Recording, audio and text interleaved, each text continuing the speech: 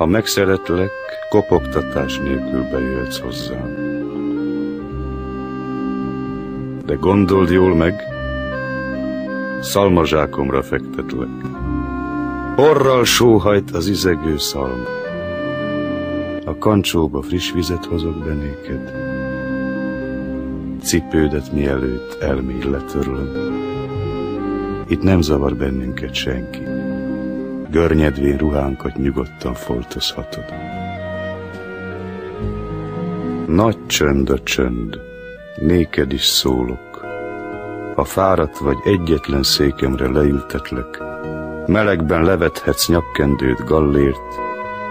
Ha éhes vagy, tiszta papírt kapsz tányérul, amikor akad más is, hanem akkor hagy nékem is. Én is örökké éhes vagyok. Ha megszeretlek, kopogtatás nélkül bejöhetsz hozzám, de gondold jól meg, bántana, ha azután sokáig elkerülnél.